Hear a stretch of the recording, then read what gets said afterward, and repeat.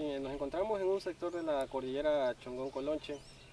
Eh, hago referencia a, los estudios que se están realizando para la construcción de la vía alterna, en donde pues ya se ha hecho apertura de una, de una vía, de una carretera en la parte de abajo.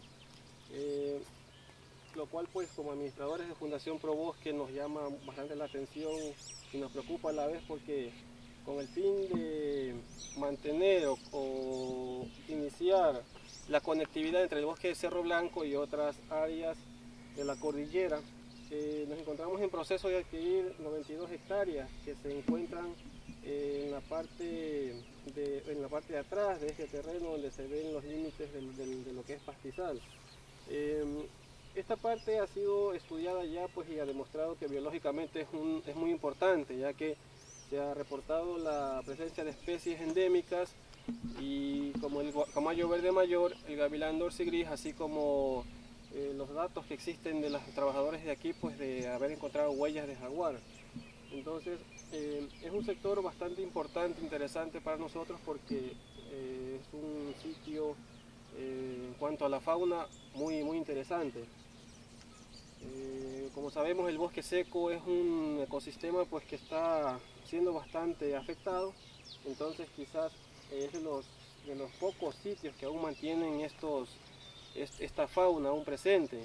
Entonces este, lo, importante aquí para nosotros pues es que se siga manteniendo en el, en el sector.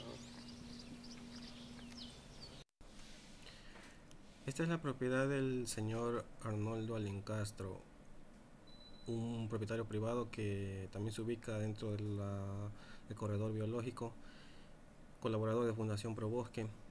Aquí estamos viendo algunas marcaciones que se han, que se han hecho en la propiedad de él. Se ha abierto una pica o trocha con, machete y también en este caso se observa al frente, bueno la vegetación no lo permite observar bien, pero se ve la carretera que se, que se ha abierto con maquinaria. Eh, en este caso estamos eh, ya en la carretera accediendo hacia la parte baja de, de la quebrada.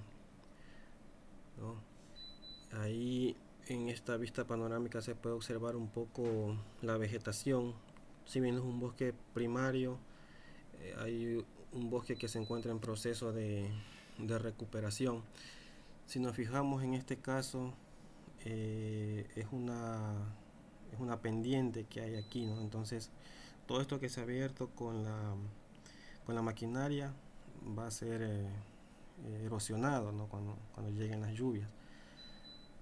Podemos ver allí algunos árboles como bototillos, eh, guarumos que han sido talados. Eh, como mencioné anteriormente, no es un bosque primario, sin embargo, es, este se encuentra en proceso de recuperación. Hay árboles ya, algunos de estos ya grandes, que tuvo que pasar algunos años para llegar a, a esa altura. ¿no? El ancho de la vía está aproximadamente 5 o 6 metros. Hay algunas marcaciones que se han dejado allí en los, en los árboles. Eh, bueno, allí el, el director de Probosque estaba accediendo también a la parte baja de la, de la quebrada. Esta propiedad, em, un estudio también que se realizó anteriormente, un estudio biótico, también muestra algunos aspectos importantes en cuanto a biodiversidad. Eh, se encuentra dentro de lo que es el corredor biológico y es parte fundamental, esencial también para, para crear esa conectividad entre algunas especies que se encuentran en Cerro Blanco ¿no? y que en sí eh, utilizan la cordillera para movilizarse. Sobre todo las quebradas que son que son hábitats importantísimos en este bosque seco.